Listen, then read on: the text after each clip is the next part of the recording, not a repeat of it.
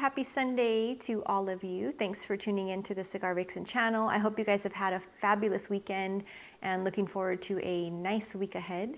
So, coming at you with my recommended five cigars for your week of smoking. Starting with number five, we have the Diesel.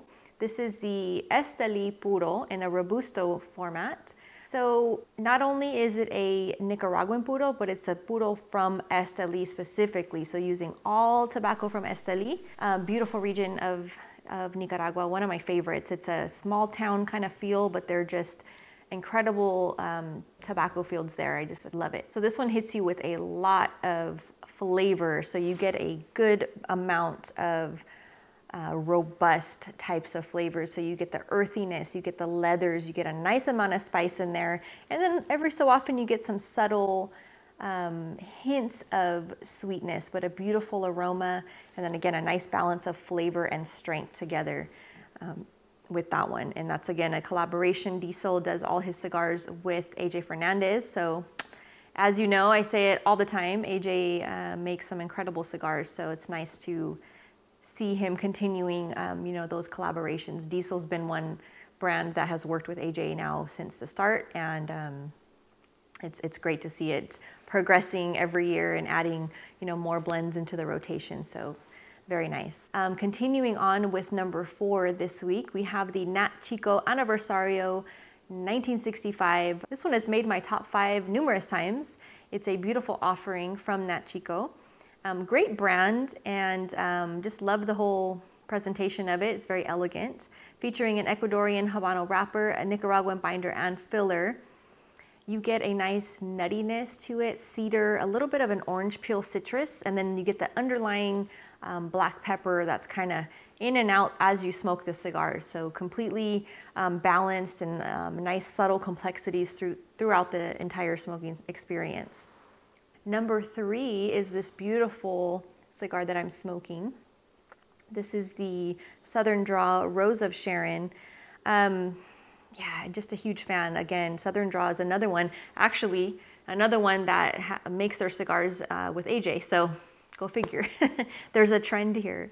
Um, yeah, but the Rose of Sharon is just a beautiful offering again from Southern Draw Cigars. They make um, just some fantastic cigars. They're one of those brands. I, I, say it with a few brands that it's if you see them in the humidor, pretty much any of their cigars that they offer um, are gonna be just well suited for a variety of smokers. Um, the Rose of Sharon is a little bit more refined, subtle, not as it's not a weak cigar. It's not a mild cigar. It's right in that medium standpoint, but it's just a very elegant presentation, um, beautiful, refined richness to it.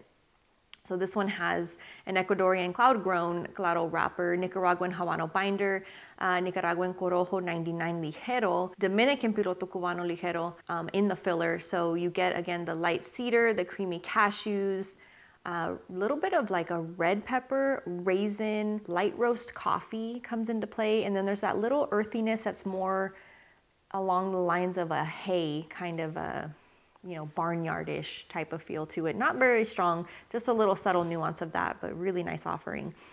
Uh, number two is going out to the Joya Numero Uno. Great cigar. Um, absolutely love this cigar. Again, Joya is another one of those brands. Um, huge fan of their entire portfolio. Uh, I have a ton of Joya cigars in my humidor at all times, um, just different times of the year, different times of the day, depending on what you're pairing. Um, this one is fabulous with a variety of spirits. So I'm trying to remember the pairing that I used this one for, and I can't remember, but I know that I've paired this one with um, an añejo tequila. I've done it with scotch. Um, in fact, I think I did it with, um, yeah, it was a scotch. It was the Nutty by Nature, now that I'm recalling. It was a pairing I did a while back from this Scotch Society that I'm, it's like a club that I'm a part of. They send these really nice bottles of scotch out every so often. And this one I paired with that, and it's a beautiful offering. Um, with that particular scotch, it was a nutty, nutty uh, kind of a profile that they pulled from each other. So this one has an Ecuadorian Connecticut wrapper, uh, Nicaraguan binder and filler, cinnamon, nutmeg, red pepper, caramel, a little bit of maple in the overall notes on this one. Um, again, just a beautiful offering that was first released initially, I think it was for like dignitaries or it was like a special not released to the public kind of a thing. And then it became so popular that they just like, okay, here we go. We're going to release it to, to everybody else. And we're glad that they did because it's a beautiful cigar.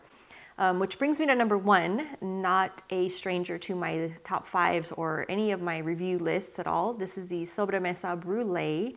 Beautiful cigar. Absolutely love it. Um, again, pretty much everybody on my list and just they're great. So Steve Saka, he's one of those that um, again, I haven't smoked a cigar of his that I didn't like. He just makes some really awesome cigars. And I think most of you out there will agree. Um, I haven't run across anybody that didn't like his cigars, not personally anyway. Um, so the Sobremesa Brulee coming in with an Ecuadorian Connecticut shade wrapper, San Andres Negro binder, um, Nicaraguan filler, um, beautiful notes of cedar, you get caramel, you get little bits of like toffee, butter, cream, anise, pecan, nuttiness, earthy little bits, um, subtle like cinnamon spice. You get all these nuances. It's just like a blast of flavors that are very pleasant um, throughout your entire smoking experience. So definitely one that you want to pick up a couple boxes if you can find them, which you should be able to find them easily um, in most humidors, but just a beautiful, beautiful cigar. So again, thanks for watching. Happy Sunday to you all. And I'll provide those links in the text of the video so you can find all of these cigars mentioned and hopefully add them to your humidors. So cheers and God bless.